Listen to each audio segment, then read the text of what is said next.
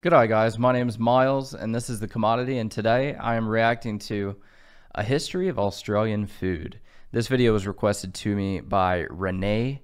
Yes, I say me and I say I'm reacting because Fez is on his way to go get COVID tested. He's been coughing nonstop for the past two days, uh, complaining of chest pains and everything. So he's on his way to go get tested for COVID right now. I figured you guys probably would not enjoy listening to his coughs during all these videos. So if you saw our previous video, it was just me. And I think on the next three or so videos, it will just be me.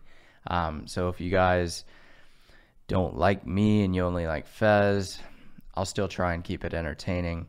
Just if you would go ahead and click that subscribe button and bell notification icon. That way you guys can check out our most up to date uh, posts and, and videos and everything. So again, this video was recommended to us by Renee. I looked through some of the comments on the video and it, it seems like a very interesting thing to check out. Uh, if you guys notice, I'm wearing my Dawn Adventures shirt. Uh, I was told that I we completely pronounce it wrong uh, for Australia, but it's D A W N Adventures. The guy makes outdoor content, uh, content about beaches and things like that. He also makes fishing content. If you guys like the outdoors, he makes phenomenal content. And he's a local Australian YouTuber. We're trying to build his channel up and help him out.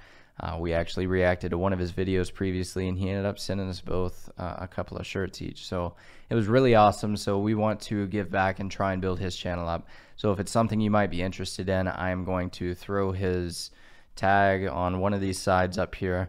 Uh, and he will also be down in the description below. So if you guys want to go check his channel out, click on that link after you watch this video. Guys, before I hop in, if you would, go ahead and uh, click that subscribe button and the bell notification icon. Also, if you would, go ahead and give me a like on this video. It'll truly help me get this video out to more people. And if you'd like to help support, support the channel, so support words, Support the channel even more, click the join button down below and you will get an exclusive YouTube short shout out as well. So I'm going to go ahead and check out the history of Australian food.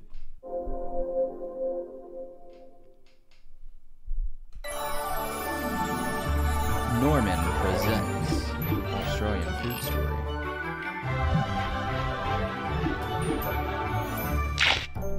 So meat pies, I've been saying I'm going to make one.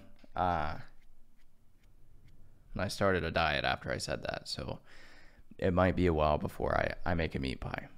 People have been hunting, gathering, farming, cooking, and eating food on the great southern continent for tens of thousands of years. But how have different cultures and their history in this country influenced the foods we eat in modern Australia? I think I can help you with that one. I don't need your help, thank you very much. Oh, really?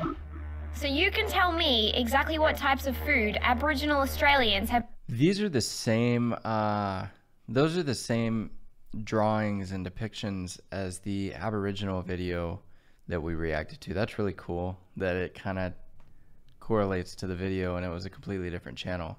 Uh, also, the diet that I'm on is a fasting diet. I'm I'm fasting 23 hours a day and eating one hour a day, and that usually means just one meal. Um, so this is kind of hard to watch because I haven't eaten in 22 hours. So I've been eating for about 50,000 years. Well, yeah, uh, yeah, you know, I mean, uh... Join me, Miranda. And me, Norman, as we go on a food expedition to explore the bush foods eaten by Aboriginal tribes prior to British colonisation. The dietary changes caused by the first wave of European settlement and how waves of migration after World War II have shaped what we eat today. All to discover exactly how history has created Australian, Australian cuisine. cuisine.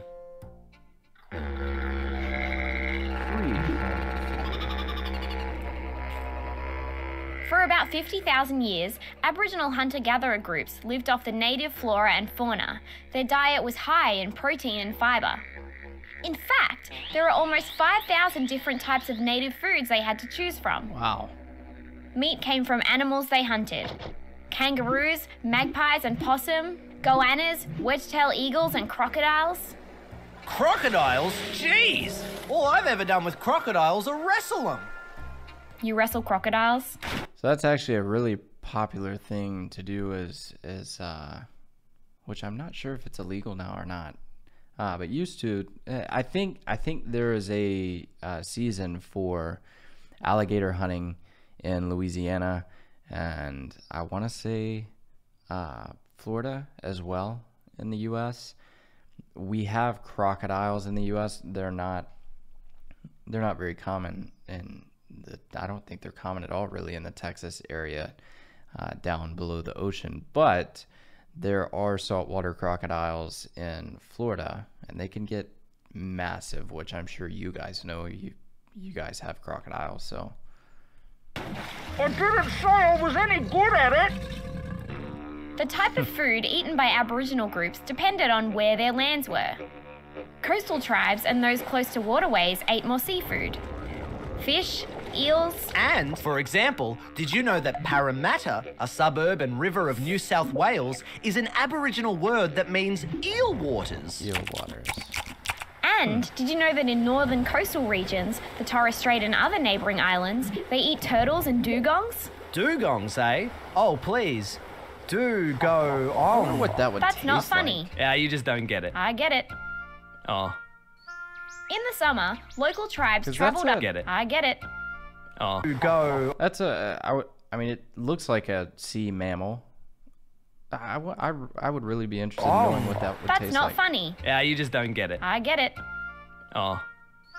In the summer, local tribes travelled up into the alpine regions of what is now Victoria and New South Wales to eat bogong moths, which migrated there in huge numbers. Oh man, I am terrified of That moths. doesn't sound delicious. Just think of them as cuddly beige butterflies. Oh man, I am terrified of butterflies. Smaller delicacies included witchetty grubs Ooh. and honey, Oh. ants. Oh. Are you scared of ants too? Let's move on, hey?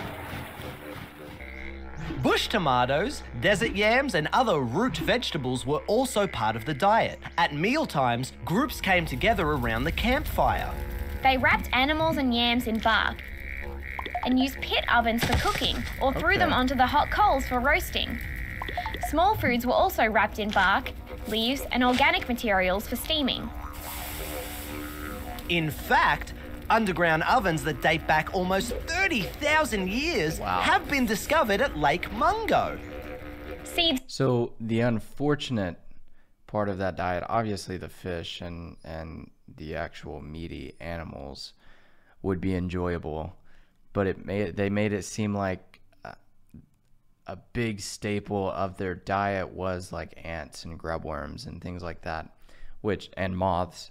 It is what it is. When we go to Malaysia, uh, that's going to be one of the challenges is uh, eating a grubworm type worm.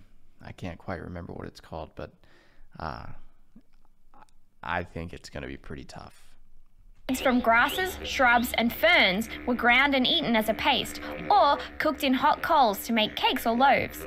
The 36,000 year old grinding stones that were discovered at Cuddy Springs in central northern New South cool. Wales may be the earliest evidence of the bread making process in the world. I'll bet that was a really cool I love find. bread. I love bread too! And following the popularity of the macadamia nut, which is an Australian nut, Hmm. I bush tucker like that. pepperberries, bush tomato, and lemon myrtle are being grown commercially. Just like me, I'm an Australian nut. Please stop. I can't, I'm a nut! So dumb. To World War II. Then eating patterns changed fundamentally, right? That's right, and all kinds of things were introduced into Australian cuisine. But for that, we need to go back to 1788, when the British First Fleet landed in Botany Bay and established a penal colony. Food wise, their plan was to start farming the staple foods of the British diet. But the harsh soil and weather conditions around the settlement made it hard to grow food. The first imagine in that British settlers lived off goods imported from England. A basic diet of flour, salted meat, oatmeal, and tea. They were reluctant to eat strange looking marsupials, preferring animals they recognized fish, pigeon, goose, and swan. Did you say they ate swan? Yes, and also. As, as in, like, They ate swan? They showed the koala, and I was kind of worried that they said that they eat those. And I'm sure somebody has eaten one at one point. Ah. Uh, but but that would suck. They're so cute. They ate swan. Oh. In Tasmania, which was then known as Van Diemen's Land, desperately hungry settlers tried stuffed wombat and fried echidna, with mixed results. Would you say there is an iconic Australian That food sounds from this time? Yeah, it's also a symbol of life in the Aussie bush. It's damper. Of course! Damper! Popular bread among swagmen and other travellers, it's made of flour, salt, and water. It was probably invented by drovers who needed a food source that could easily be carried to remote areas and wouldn't spoil.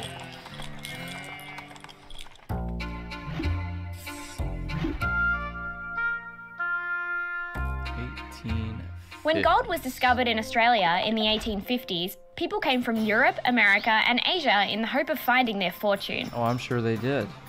Some Chinese migrants gave I would have came to Australia to to mine the first gold. Give up the quest for gold to establish restaurants or market gardens. Others became grocers, supplying restaurants with fresh greens, a huge shift and influence on Australian cuisine, as this was such a rarity before. And it wasn't long before cities and ports had their own Chinatown. The Chinese introduced new flavours and cooking techniques, including ginger, soy sauce, and of course, the wok and the steamer. Asian foods, And European migrants aside from seafood, Asian food is is my favorite, and Cajun food. brought with them the trend of street vendors selling ready made foods like pies and pasties. These were our first fast food outlets. Hmm. They sold what is now recognised as an iconic Australian food, the pie floater. Iconic? Pie Never heard of it. That's because you're not South Australian. The pie floater is a pie drowning in a bowl of pea soup, and if you think it sounds awful, that's because it is.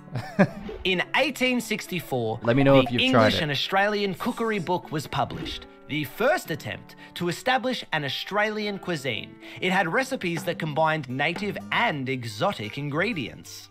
Want to make stuffing for hare or kangaroo? There's a recipe for that in here. By federation in 1901, the staple foods were mutton, lamb chops, meat pies with tomato sauce, and colonial curries. All of that sounds amazing. Curries were made using native animal meats and farmed produce, and were brought over from India, which was then part of the colonial British Empire. The Australian colonies were now also influenced by different spices from China and from India, and coconut from Southeast Asia. After the First World War, food production, packaging, and transport became a lot faster. Improved supply of basic items like eggs, butter, flour, and sugar, as well as new grocery items like desiccated coconut and cornflakes, led to the dawn of a golden age of Australian baking. A whole range of new cakes, biscuits, and desserts were created, including Lamingtons and Anzac biscuits. The perfect Those lamingtons look really good. What is that like? Let me know what the filling is on those. accompaniment so to hungry. a cuppa tea, the national drink. And in 1923, a Melbourne scientist used the yeast left over from beer production to create Vegemite, one of the nation's favourite Really? spreads. Food habits from British colonial heritage remained, and the most important family meal of the week was the Sunday lunch roast. Yep, as that was becoming an iconic food of the nation, other world influences came into play. After 1945.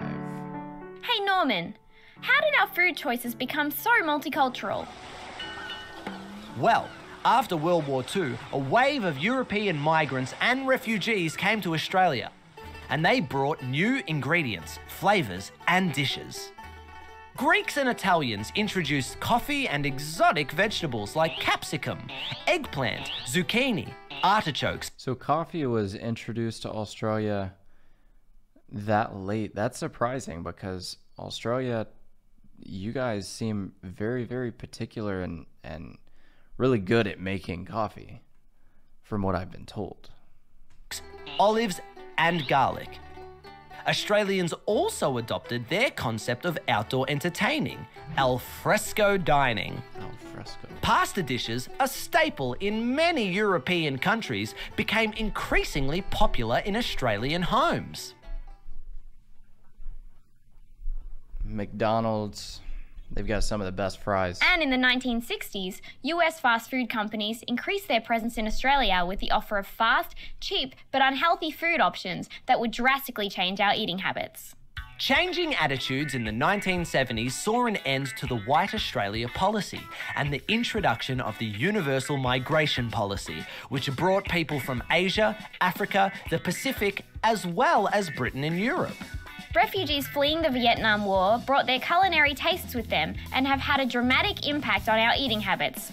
From a bowl of pho, I think it's pronounced fur. I think it's pronounced pho.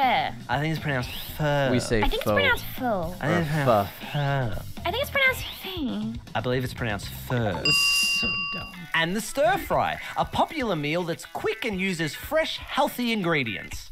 By the end of the 20th century, Italian, Greek, Chinese, Vietnamese, Indian, Lebanese, and Middle Eastern cuisines have well and truly become standard fare in Australian restaurants and homes. Wow! What a diverse and interesting history. It seems like so many influences have helped to shape our food choices. Can we actually identify such a thing as uniquely Australian cuisine? Hmm. I would honestly say the only thing that I think of when I think of Australian food would be the meat pie at this point. I don't know. I mean, I, that seems like the most popular thing that everybody talks about, or at least to us. I have not heard of any like specific to Australia. And obviously, the meat pie is not specific to Australia. Like I said, I I was thinking about making one, um, but as far as I know, it's it's big in Australia. Uh, I think shepherd's pie. When I think of Australia, I think of shepherd's pie. I don't even know if that's an Australian thing. I you guys might not even know what shepherd's pie is, and I just sound stupid. Um, it's kind of like a meat pie, I think, but without the crust. So less of a pie, I guess, and more of a casserole. But I don't know. When let me know some, you know, unique to Australia foods uh, aside from the meat pie. I would have been pretty excited around the time that Asian cuisine came to my country if it had just arrived during my time because again like I said seafood, Cajun food and Asian food are my top 3 uh, and I like seafood, you know, cooked most ways. I I love fish, I love. I I love all types of seafood. But again, guys, let me know down in the comments what you think is is pretty unique to Australia, uh, eating wise. And if you would go ahead and click the like button, click the subscribe button and the bell notification icon, and click that join button if you want to help support the channel even more. My name's Miles. This is the commodity. Thanks for watching, guys. Peace out.